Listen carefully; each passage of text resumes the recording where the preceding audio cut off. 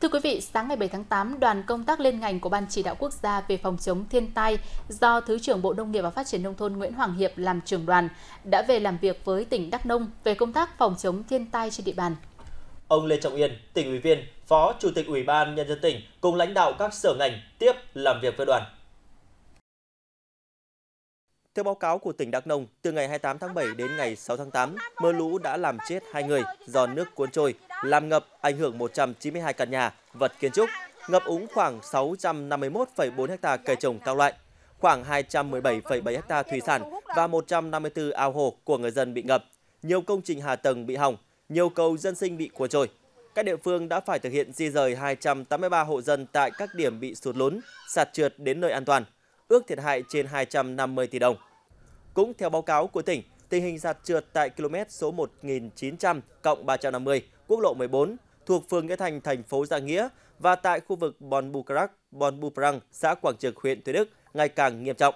Đối với hồ thủy lợi Đắc Nờ Tinh ở huyện Đắk Long, do xuất hiện cùng trượt lớn kéo dài, mái bê tông thượng lưu đập đất tiếp giáp tràn đã có hiện tượng nứt gãy, chia cắt. Nếu thời tiết tiếp tục diễn biến phức tạp thì nguy cơ cao vỡ đập. Tỉnh Đắk Nông đề nghị Bộ Nông nghiệp và Phát triển nông thôn tiếp tục hỗ trợ địa phương cử các đoàn chuyên gia kiểm tra, đánh giá nguyên nhân sạt trượt đất tại các điểm dân cư, giao thông, hồ đập và có giải pháp khắc phục để đảm bảo ổn định cuộc sống và sản xuất cho người dân. Tỉnh cũng kiến nghị Bộ hỗ trợ hoặc đề xuất chính phủ hỗ trợ kinh phí để khắc phục sự cố khẩn cấp hồ thủy lợi Đắk Nờ Tỉnh và một số công trình hạ tầng giao thông thủy lợi khác. Theo các chuyên gia, tình trạng sạt trượt ở Đắk Nông thời gian qua là do mưa lớn kéo dài. Ngoài ra còn có tác động của con người trong quá trình canh tác, đào móng xây dựng công trình. Để hạn chế sạt trượt đất ở các đồi xuống hồ thủy lợi Đắk Nờ Tỉnh, ngăn vỡ đập, theo các chuyên gia, trước hết phải thực hiện các biện pháp thoát nước. Giải pháp trước mắt thì ờ, thứ nhất là tại cái vị trí cái vết nứt trên cùng ấy, nó đã, đã mở rộng thành hình vòng cung. Thì đầu tiên là phải ờ, dùng cái cái tấm HDPE để ngăn nước không cho ngấm tiếp xuống. Ở trong cái, cái mái đấy là chúng ta phải bố trí các cái rãnh cơ. Rãnh cơ ở ở phần dưới chân ấy, là chưa có hệ thống rãnh cơ. Hệ thống rãnh đỉnh để ngăn cho nước không chảy vào cái bề mặt bên dưới. Đấy thì đấy là những cái mà làm ngay. Đồng thời là chú ý cái biện pháp thoát nước đây trong trường hợp mà chúng ta có thiết bị thì chúng ta có thể khoan sâu vào và cho cái ống HDPE 70 mm tức là 7 cm chúng ta uh, cho cái ống đấy vào thì nước nó sẽ chảy ra rất là nhiều. Và vừa qua thì đầu tư của Trung ương Ngoài biện pháp thoát nước, theo các chuyên gia, sau khi đơn vị tư vấn thiết kế đã có hồ sơ tính toán chi tiết thì có thể tính đến biện pháp hạ tải đất, dùng kè, neo dựng ngược cung bê tông, cột thép. Theo các chuyên gia, để xảy ra tình trạng sạt trượt ở quốc lộ 14 đoạn qua thành phố Giang Nghĩa, một phần là do tồn tại của một dãy rào tôn dẫn đến tụ thủy, làm cho nước thấm xuyên qua mái trượt. Cả một cái dãy rào tôn đấy mà tụ thủy thì rất nguy hiểm. Toàn bộ cái đường ấy làm việc như một cái đập và chịu dòng thấm xuyên từ đấy sang đến cái mái trượt. Cho nên bây giờ chúng ta sửa chữa cái cái cái phần này. Bây giờ muốn không hỏng cái đường đang còn thì phải xử lý ngay cái tụ thủy. Riêng đường giao thông của chúng ta chỗ này, nếu chúng ta chỉ sửa cái phần đã sụt mà không nghĩ đến cái tụ thủy bên trên, lại hỏng tiếp. Cho nên cái nền thượng của chúng ta thì tôi không nói, nhưng cái nền hạ là chúng ta xử lý trước đây là chưa đến nơi đến chốn. Tại buổi làm việc, lãnh đạo Cục Thủy lợi đề nghị tỉnh ra soát lại quy trình vận hành các hồ chứa, vừa đảm bảo an toàn trong mùa mưa lũ, nhưng cũng vừa dự trữ được nước để ứng phó với El Nino có thể xảy ra trong thời gian tới. Lãnh đạo Cục Thủy lợi cũng đề nghị khẩn trương giả soát lại phương án ứng phó thiên tai, xả lũ khẩn cấp, đặc biệt là những hồ đập đang thi công. Ra soát đánh giá việc ảnh hưởng của sạt trượt đối với các hồ chứa trên địa bàn. Vấn đề sạt trượt hiện nay đối với các hồ chứa trong tỉnh cái này cần đánh giá lại. Đi song song đó là lại các đề xuất liên quan đến những bản đồ cảnh báo về sạt trượt ấy, thì thì vấn đề giả soát đánh giá lại nguy cơ của các hồ chứa các đập dâng đối với những các khu vực mà có nguy cơ xảy ra cái hiện tượng sạt trượt như hiện nay trên toàn tỉnh. Thì cái này cũng đề nghị là chúng ta cũng cũng cần phải, phải triển khai và thực hiện ngay đánh giá lại các quy trình các quy định trong việc khảo sát thiết kế ờ, các cái công trình hồ chứa đập hồ chứa đập dâng ở trên cái, cái các khu vực đặc biệt là đối với Tây Nguyên có tính đặc thù về mặt địa chất như các thầy các chuyên gia đã trao đổi. Phát biểu kết luận tại buổi làm việc, Thứ trưởng Bộ Nông nghiệp và Phát triển nông thôn Nguyễn Hoàng Hiệp Nguyễn Hoàng Hiệp đánh giá cao sự chủ động tích cực của tỉnh Đắk Nông trong công tác phòng chống thiên tai.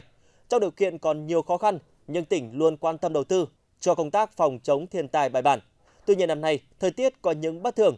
Trong tháng 7, lượng mưa của tỉnh lớn gấp 2 lần so với trung bình nhiều năm, dẫn đến gây lũ lụt, sạt trượt. Dự báo cuối tháng 8 đầu tháng 9, trên địa bàn tỉnh sẽ tiếp tục xuất hiện một đợt mưa lớn. Do đó, tỉnh cần có giải pháp để ứng phó. Thứ trưởng Nguyễn Hoàng Hiệp đề nghị tỉnh trong quy hoạch chung và các kế hoạch phát triển kinh tế xã hội từ cấp xã trở lên cần chú ý đến công tác phòng chống thiên tai, sạt lở, đảm bảo số lượng rừng và chất lượng rừng, tôn trọng dòng chảy tự nhiên, áp dụng khoa học kỹ thuật, công nghệ mới trong công tác phòng chống thiên tai. Trước những diễn biến phức tạp như hiện nay, Thứ trưởng Nguyễn Hoàng Hiệp cũng đề nghị tỉnh công bố tình trạng khẩn cấp về thiên tai. Cũng theo Thứ trưởng, nguyên tắc xử lý chung cho các công trình là phải tìm được nguyên nhân chuẩn trong xử lý các tình huống, vấn đề đảm bảo an toàn tính mạng cho người dân phải được đặt lên hàng đầu. Nguyên tắc xử lý chung là trước hết là phải tìm được nguyên nhân chuẩn. Nếu không tìm được nguyên nhân chuẩn thì cách không xử lý được. Ví dụ như cái đăng nở tinh nguyên nhân của nó là gì? Nó là một khối trượt. Đúng không ạ? Thế nhưng mà cái đường Hồ Chí Minh nguyên nhân gì? Không phải không phải trượt, mà là nước ngầm ạ. Đúng không ạ? Đó nó khác rất thì xử lý ứng xử rất khác nhau. Đúng chứ nếu như mà không nghiên cứu kỹ nguyên nhân thì rất nguy hiểm. Nguyên nhân rồi nhưng mà thế nếu nó trượt thì do cái gì ạ? Thì vậy ông mới tìm ra được. Nước ngầm thì do cái gì? Nó ra nước ngầm. Bình thường sao nó không có. Tự nhiên năm nay nó có nước ngầm. Đây là những câu chuyện. Thế thì bây giờ phải có nguyên nhân, tìm được nguyên nhân nào? Sau có nguyên nhân rồi nó rõ rồi vì mỗi công trình nó có một nguyên khác nhau ấy thì chúng tôi đề nghị là bắt đầu với xử lý theo nguyên nhân đấy. Đặc biệt là với những cái điểm sạt trượt thì xử lý sạt trượt trước đảm bảo ổn định đã. Nên cái này nó rất là cụ thể chứ không chúng ta không thể nói chung chung được. Cái tiếp theo là cái mới đến đảm bảo xử lý cho công trình. Phát biểu tại buổi làm việc, Phó Chủ tịch Ủy ban Nhân dân tỉnh Đắk Nông Lê Trọng Yên tiếp thu ý kiến của trường đoàn công tác và các chuyên gia. Về phía tỉnh sẽ chỉ đạo các sở ngành, đơn vị liên quan khẩn trương thực hiện các giải pháp nhằm hạn chế thấp nhất thiệt hại do thiên tai gây ra.